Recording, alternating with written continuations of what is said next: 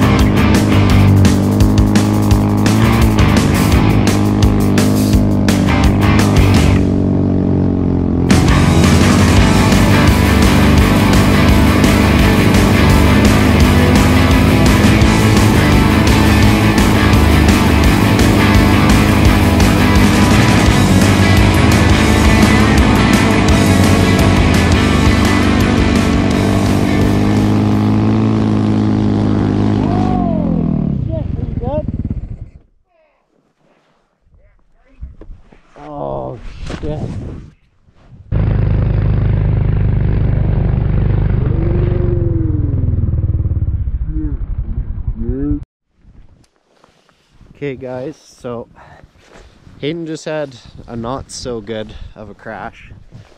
We were just trying to get to this one spot and uh, just playing on the side of the road.